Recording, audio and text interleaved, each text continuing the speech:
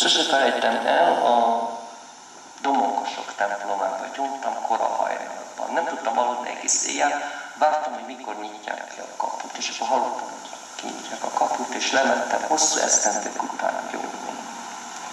És elmondtam a bűneimet, a rács mögött nem tudom elfelejteni a pap arcát, olyan volt, mint egy tisztára mosott kavics. Fiatal ember volt.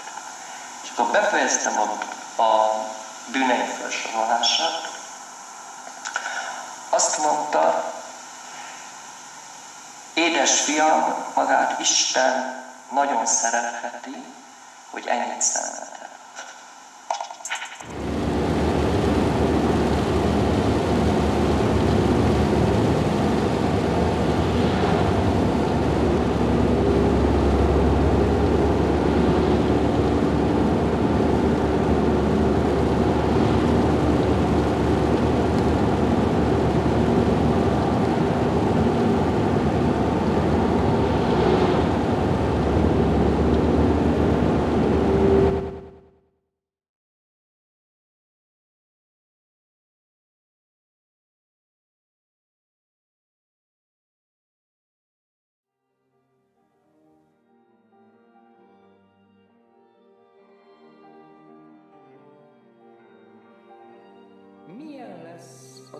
Visszaröpülés, amiről csak hasonlatok beszélnek, olyan félénk, hogy oltár, szentély, készfogás, visszatérés, ölelés, fűben, fákon, megterített asztal, hol nincs első és nincs utolsó vendég.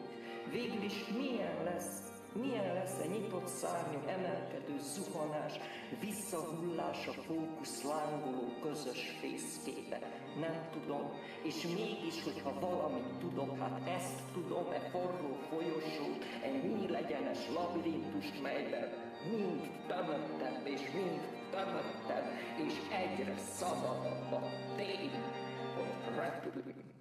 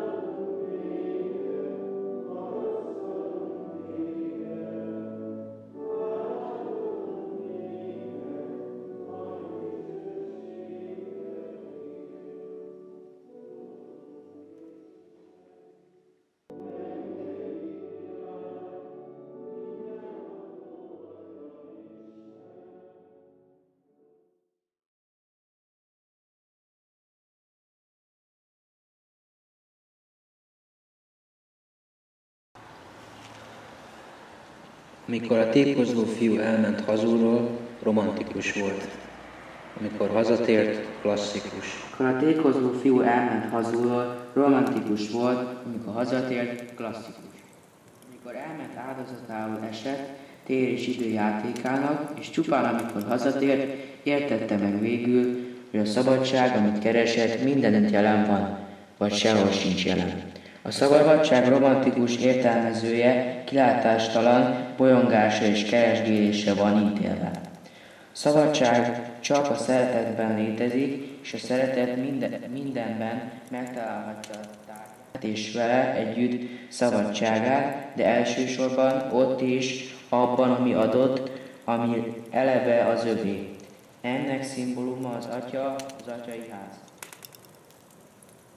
ami semmiképp sem mesebeli sziget, hanem örökös és kifogyhatatlan hazatalálás a Teremtőhöz. Bizonyos értelemben mindannyian tékozó fiúk vagyunk.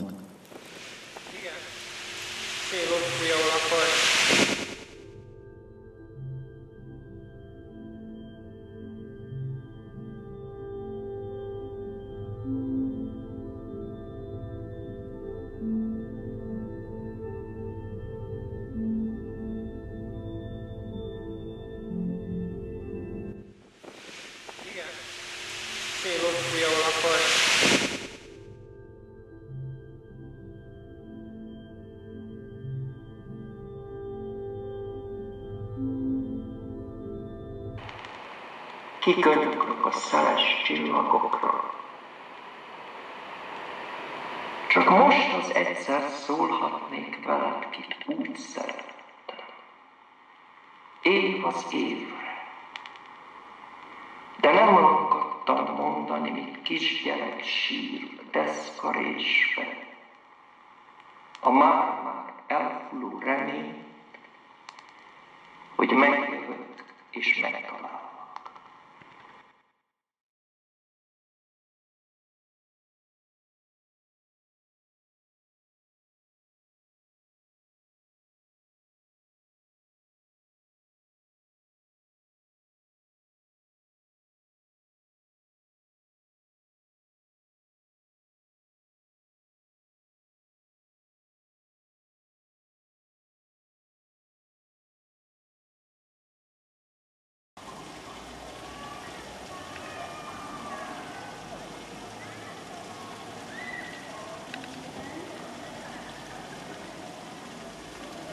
Kihűl a nap az alkonyi grafitban.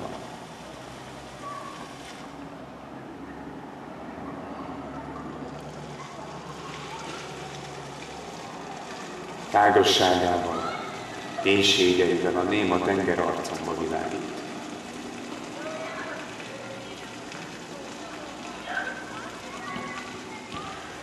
Öreg vagyok. Nem hiszek semmiben. Öreg vagyok, lerombolt arcomon csupán víz ijesztő pusztaság. A szürkület gránitpora. Csupán a pórusok brutális csipkefákja.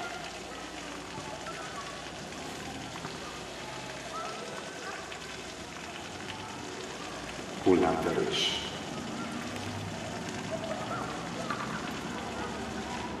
Aztán a puha éj, boldogtalan zajai.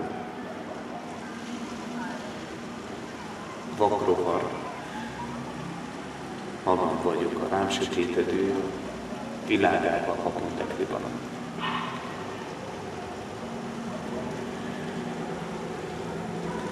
Itt fekszik mellettem ez a lány.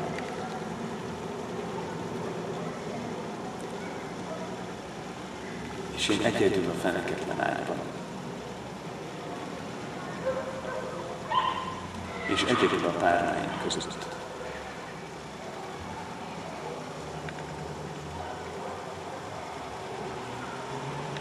Magam vagyok az ötös magányban.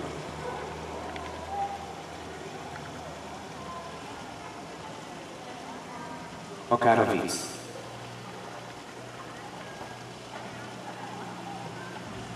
Akár az anyaföld.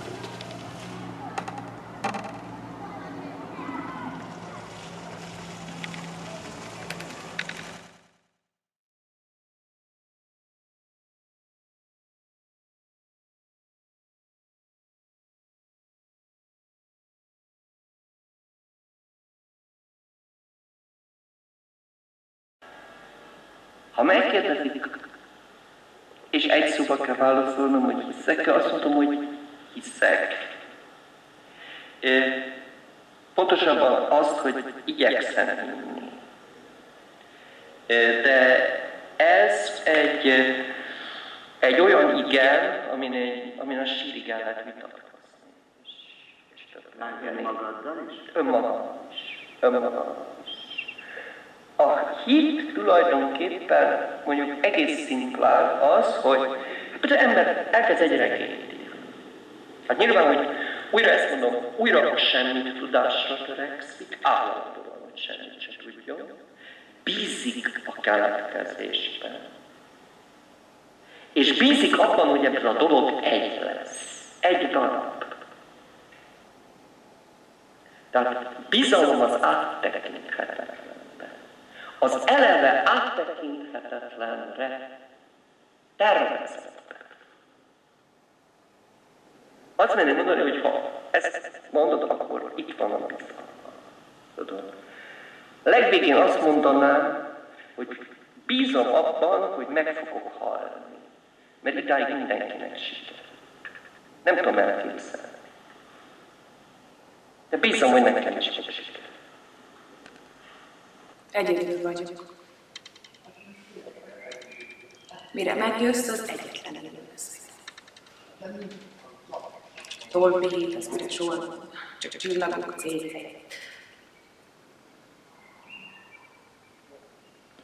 Temetek Mire a házasságban, mint téli személytelenek, hulladék és kapirgálva. Szemetek támaszt Egyedül vagyok, mire megjössz, az lesz a tökéletes. az egyetlen élő leszek.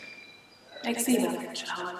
Csak tolpihék az üres hólban, csak csillagok az éghely. némaságnak extatikus tornasszai. A temetetlen árvaságban, mint téli szeméttelepen, a hulladék közt készítettem szemelgettem az életem.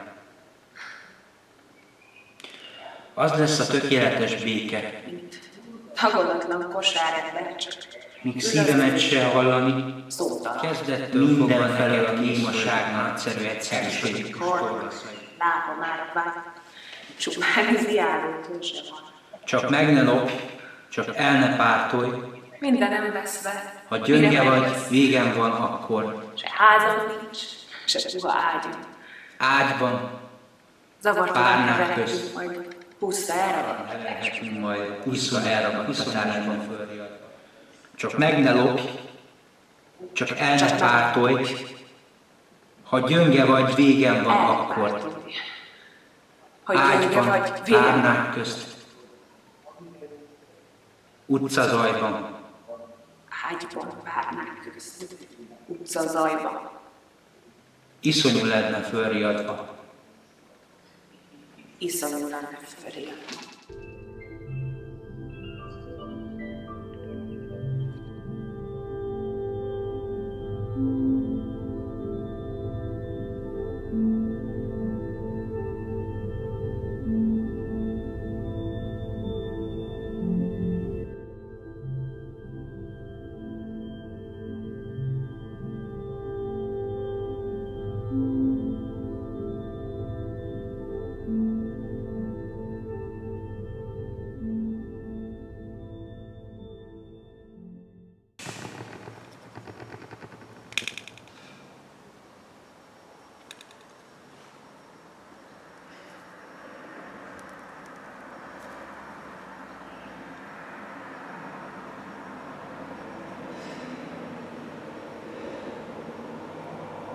Poézis a hitben.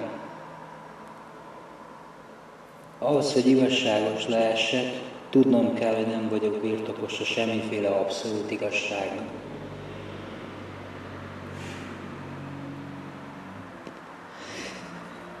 Hasonlóképp a művészetben semmiféle alkotás nem nyerheti el a jó ajándékát, amennyiben nem hajlandó újra és újra a nullpontról elindulni, a megemésztett bokás, pontosabban az alázat keservesen fájdalmas nullpontjára. A művészetben nincs siker, és nincs rutin, amely az újrakezdés erejét helyettesíthetné.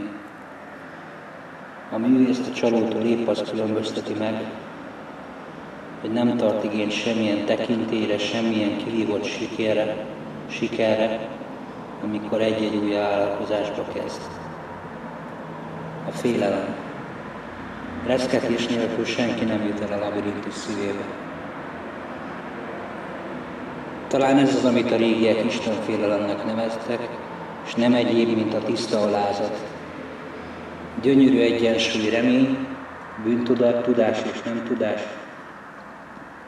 személyes és személytelen, felejtés és tapasztalat, bizonyos, bizonyosság és elveszettség között, ahol az alázat a nullpont ünnepéje Isten és ember legintimebb találkozó helye, sírás és megvívasztalás forrásvidéke.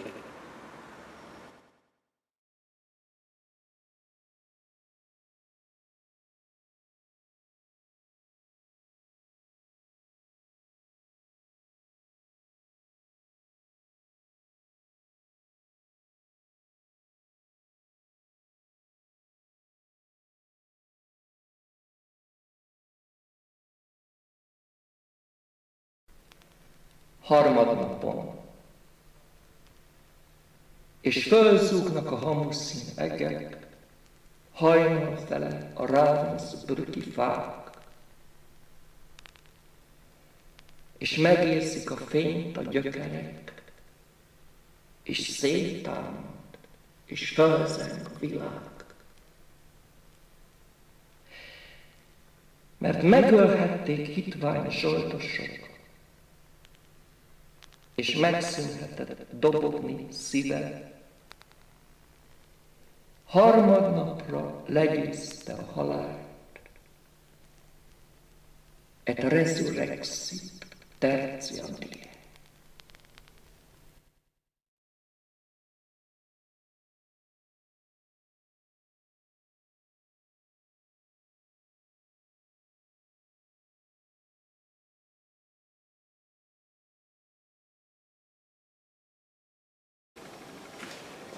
Pilinszki János költészetének, művészetének, életművének nagyon régóta, mondhatni középiskás korom óta rajongója vagyok, régóta lenyűgöz a gondolati ereje a költészetének a, a nagysága.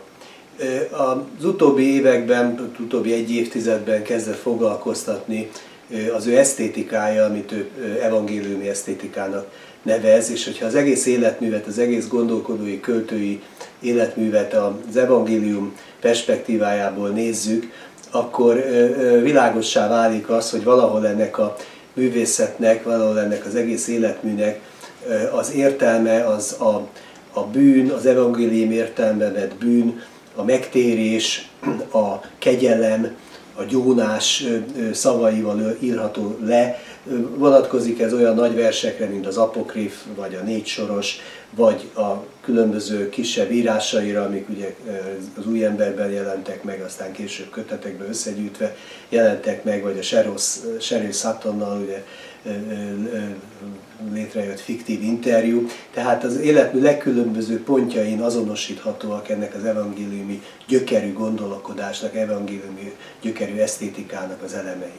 Egy külön érdekes terület, amiről röviden említést tennék, és amiről egy nemrég megjelent könyvemben, ami Budapesten jelent meg Harcok címmel, és amiben több kis írás is foglalkozik Pilinszkivel, amely könyvben ugye foglalkoztam az ő színház esztétikájával, az ő színház elméletével, ami egy nagyon eredeti és nagyon érdekes, izgalmas terület. Ugye Pilinszki két színházat azonosított, ugye rátekintve a, a 20. század második felében a, a, a, akkor levő színházi gyakorlatra, ugye az egyik a naturalista vagy realista színház, ugye a hagyományos, a klasszikus színház, amelyről azt mondja, hogy ez egy valami régi eseményt próbál megidézni, de ez egyfajta mimikri csak, egyfajta utázás csak, nincs valósága, nincs jelenléte, egyfajta jelenlétvesztésről beszél itt.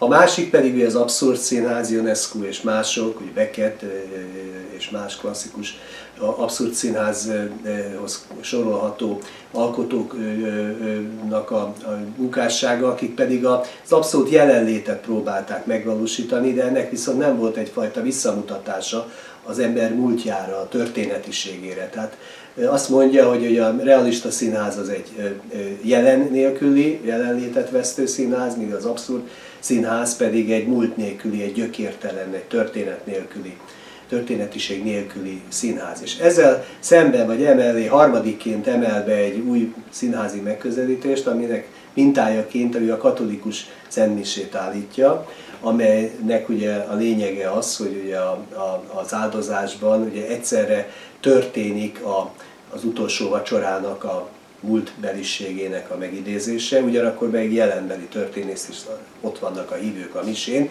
és a jelenlétnek, a múltra való jelenlétnek és a múltra való reflexiónak egy ilyen köztes tere az, amiről Pilinszki a katolikus színház kapcsán, katolikus szentmise kapcsán gondolkodik, és ő úgy gondolja, hogy egy olyan színház lenne ideális, amely egyszerre tud visszamutatni a múltra, és egyszerre tud megvalósulni a jelenbe, és ennek a fajta törekvésnek látta ő egy, egy példáját, ugye Robert Wilsonnak a, Wilsonnak a színházában, akinek a színésznője volt az a bizonyos Sheryl Sutton, akit Pilinszki ismert, és akivel hát egy hosszabb fiktív interjút is készített.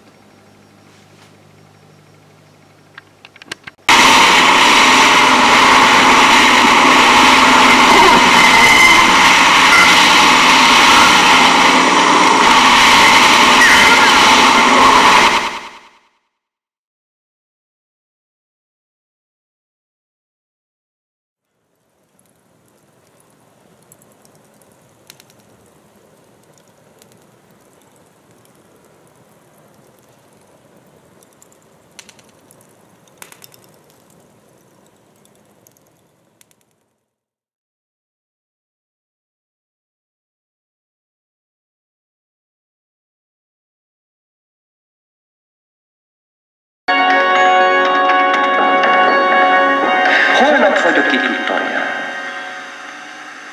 Kezet csókoltam mindenkinek, másokból voltam én itt. Fedőbűnnel sikerült eltakarnom azt az igazit. Azt, amit nem, nem, nem lehet se elviselni, se kimondani. Bűn az, minek nyomát is sikerül eltüntetnünk.